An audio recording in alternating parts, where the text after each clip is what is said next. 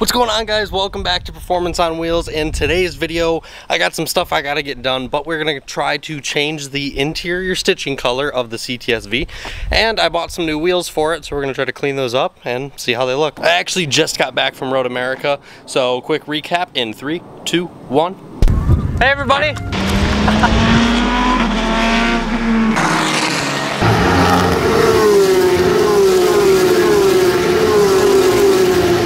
scary track for a lot of drivers actually.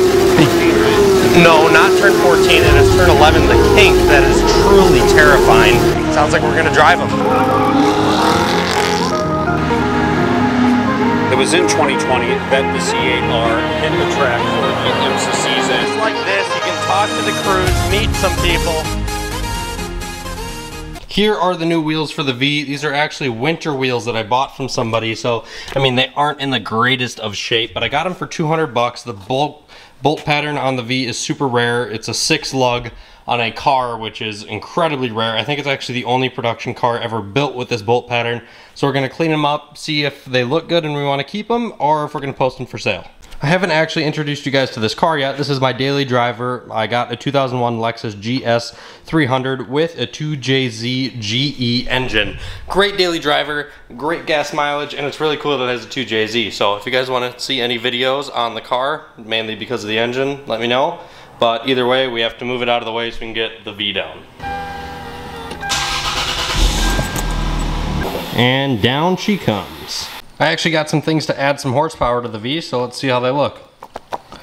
They make it too easy to put those stickers on these days.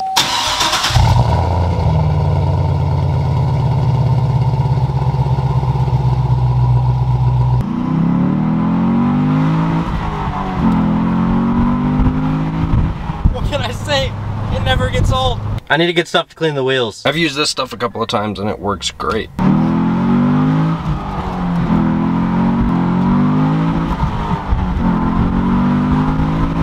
Yes, yes.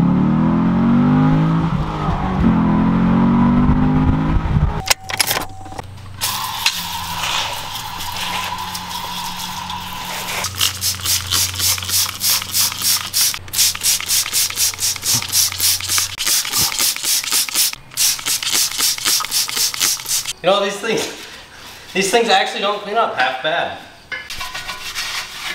They don't actually clean up half bad. They, uh, they look pretty good. So we'll list them for sale, see what happens. But it's time for the part you've all been waiting for. Let's see how this works. I got this thing off of CorvetteMods.com and it claims to change the stitching color on any light color stitching. So it has extremely good reviews let's see how it works. We're gonna start in a spot that I'm never gonna see to see if it even works in the first place and then we'll go from there. I will link this down below in the description. I am doing yellow because the CTS V2, I have the V1, all of the accessory parts like the brakes and interior stitching, one of the main options is yellow and the most common, so we're gonna see how it looks on a V1. All of the instructions say is that you take off the cap, put put it where you want it, and then you take a microfiber cloth and wipe around where you just put it on, and that's it. It looks like it comes with a finer side of the marker and a thicker side of the marker. I would assume that I'm going to be using the thicker side of the marker. And, well, let's give it a shot. There it is with two stitches in, and, well, I mean, it's doing exactly what it says. It is now yellow. Here's the difference in the before and after. It, it seems to work flawlessly. As I'm just following the instructions, it really does look pretty cool. It works great. Uh, the only thing is, is that this is going to be very time consuming. There is a lot of stitching in this interior. I am just absolutely drenched in sweat working on that inside of the car as I have an all black interior, which I hate. I'm not a big fan of black interiors. And um, it's about 90 degrees out, like 80% humidity. I will probably see you guys tomorrow. Here is my before. As you can see, all white stitching. White stitching around the steering wheel. Got it on the back seats. I really am excited because I think this is really going to change the look of the interior. It'll make it pop a lot more opposed to just white and black. I'm about one hour in. I got the driver seat done as well as the steering wheel. So here's what it looks like on the steering wheel. Here's what it looks like on the seat. Here's the before or after, before, after. So yeah, it doesn't it uh, it doesn't look bad at all. I'm pretty happy with it. It's not as vibrant as like factory stitching would be. However, I would say that it does definitely bring uh, a little bit more personality to a bland interior. I'm about an hour and 40 minutes in. I have almost the whole uh, area in the back seats done. I personally am making this look as uh, factory as possible. So I'm taking, you know, I'm moving the seat forward, getting all the stitching in there. I'm getting all the stitching on anything that can move anywhere. Uh, I, am taking the headrests out and getting even the understitching in the front and the rear just to make it look like this was actually done factory and as professional as possible. And it's coming out really well.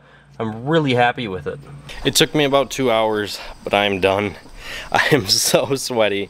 That car is so hot in there. And uh, I'm super happy with the results. It really does look really good. I'm like, that's under $20. Entire interior is redone. However, towards the end there, I was getting really close to my marker running out of ink. But uh, it held through and I did the entire interior with one marker. So I think it was like 1995 uh, plus shipping and it works great. Uh, I rubbed a paper towel on it and it doesn't leave any residue so you should be fine with your white clothes on it. Uh, this is not a paid promotion whatsoever. This was just simply me trying it, buying it, so I suggest trying it out. It was a lot of fun. Um, if something happens, I'll leave something pinned in the comments in the future if something bad happens. But uh, other than that, well worth it. Have a great day, everybody. Subscribe, comment down below what color you're going to do. I think there's yellow, red, blue, white.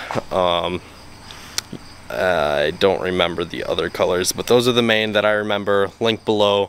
Have a great day.